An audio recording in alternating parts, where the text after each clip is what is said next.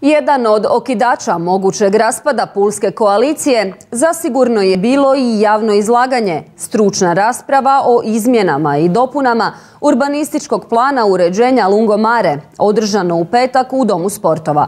Naime, izmjenama se pristupilo kako bi se revitaliziralo postojeće nogometno igralište zajedno s pratećim sadržajima, no to nije bila jedina tema najavljene rasprave. Javnoj tribini odazvalo se stotinjak građana te predstavnici Pulske vladajuće koalicije.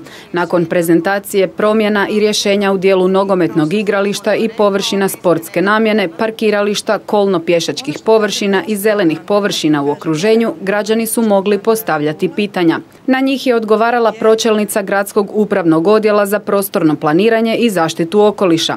A prvo je bilo o broju stabala koja će ovim projektom biti posjećena. Znači kad se budu radili projekti točno, nakon što ovaj plan ukoliko prođe ovakav kakav je, radit će se projekt igrališta i tada će se znati koliko stabla će se ukloniti, odnosno koliko stabala bi se eventualno negdje drugdje nadomjestilo.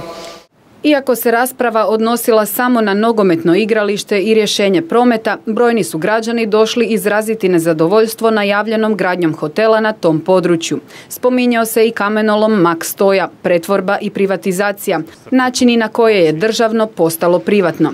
Igralište je smokvin list, kazali su građani. Razočaranje raspravom jasno je izrazio tajnik Enka Uljanika. E, Fali mi tri godine do mirovine i jako mi je teško, ovo mi je najteži dan u životu, jedan od najtežih dana u životu, ovako nešto slušati, a radimo za djecu. E, naša djeca trenutačno treniraju na Balkanama. Prije nego što dalje nešto kažem, govorim samo o nogometnom igralištu koje je u vlasništvu grada. Ne govorim o tajkunima, ne govorim o ničem drugom. Pulski somatoped dr. Stanislav Peharec zahvalio se gradu Puli što brine o djeci, istaknuvši da sport i tjelesna aktivnost koriste fizičkom i mentalnom zdravlju. 60% je djece zdravstveno ugroženo prije korone, a trebate vidjeti posljedice te korone i nekretanja naše djece. Stanje je više nego katastrofalno. Predzadnje smo u Europi po debljini djece, a debljenja je 95% uzroka, 90% umiranja. A gdje mi onda to živimo? E, mi razgovaramo o djeci, pustimo ove igre sa strane, otkupimo ovu zemlju, uzmimo ova dva terena i recimo planski gdje će se graditi još stotine terena jer imamo problema. E, mislim, ne mogu shvatiti još jednom, ponovit ću, da se borite za to da se ne izgradi igralište. Ja...